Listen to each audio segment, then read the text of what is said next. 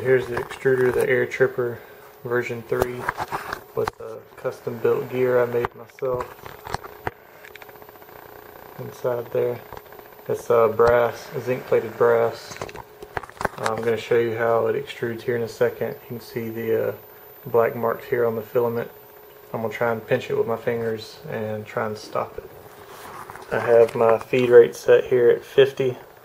Uh, it says 20 millimeters, but actually let me change that down to about 10 because it's actually feeding a lot faster than that because I haven't set the diameter on this drive. It's really made, it's configured right now for my Steve's extruder over here. So, here we go.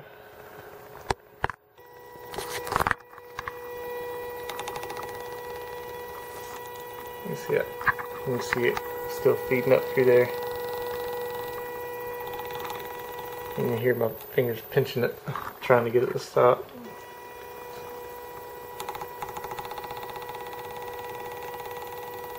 Just thinking it won't stop.